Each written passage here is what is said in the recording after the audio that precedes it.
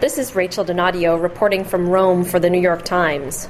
On the same day that we're awaiting a new prime minister for Greece after Prime Minister George Papandreou agreed to step down, the pressure now moves to Italy, where, believe it or not, Prime Minister Silvio Berlusconi, it looks like his days are numbered. What has brought him to this point is not any of the many corruption scandals that have always dogged him, or the underage girls, or all the other very colorful issues, but really the markets. I mean, the fact is that last week the International Monetary Fund announced that it would be monitoring Italy has requested their help, unclear who asked for what. In any case, it's very rare for an economy the size of Italy's to be monitored by the IMF.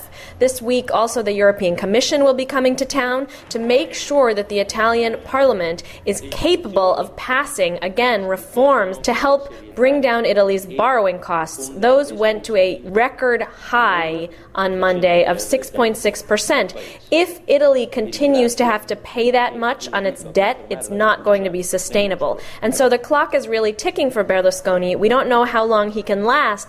The other problem is that there's a crisis of politics in Italy. If he's out, no one has any clear sense of what happens the next day. There's a lot of talk of people wanting a technocratic government, that is, a government led not by a politician, but by an expert who would have the power to push through unpopular reforms without fearing that he'd never be reelected. It's unclear whether that can happen because the one person who doesn't want that to happen is Silvio Berlusconi. But the fact is that his advisors on Monday were urging him to step down for the good of the markets.